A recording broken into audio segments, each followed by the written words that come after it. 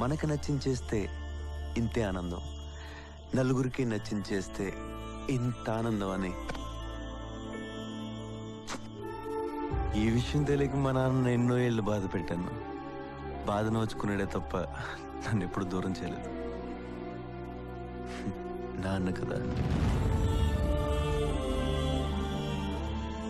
ఇద్దరు వ్యక్తుల దగ్గర అవ్వాలంటే ఎవరొకరు స్థానం మారాలని నాకు తెలియలేదు సార్. అది తెలియకే ప్రియన్ హట్ చేశాను. షేర్ చేయాలి